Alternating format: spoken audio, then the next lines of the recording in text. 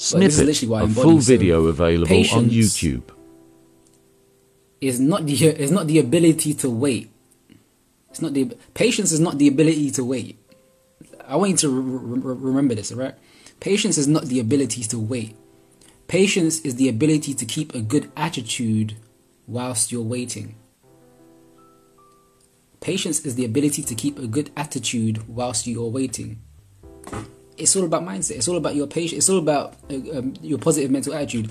Po- patience is a is a form of wisdom, and um, I think I was like, I think I really, I don't know how this, I don't know how, how this like inner inner gnosis or inner wisdom actually developed within me. I mean, I was, I've been exposed to a lot of things. I've experienced a lot of things in life, and I've been a, been a high level observer my whole entire life, really.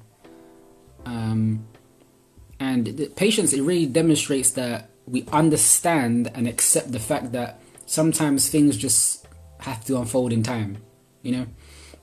So we may like, for example, we may even have like dreams and goals and whatnot, and we immediately we immediately we set the goal and we're like, oh, I set the goal. I'm gonna have it right now.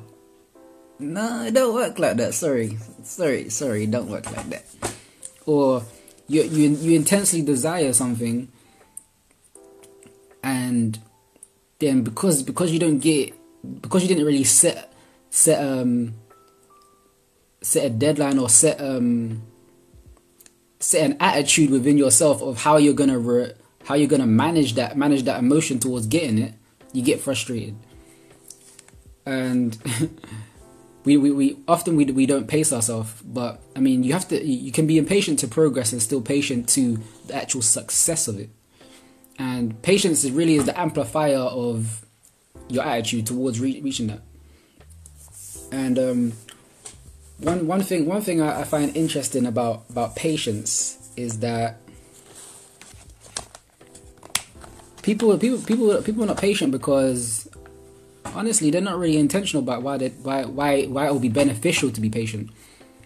And not, not really ask themselves okay so like how, how do I practice this? How do I how do I keep grounded in and not being being flustered by by every aspect of my life in this world? One thing that I found helped for me is again observing observing others and saying okay who do I know or who in this world is successful at embodying patience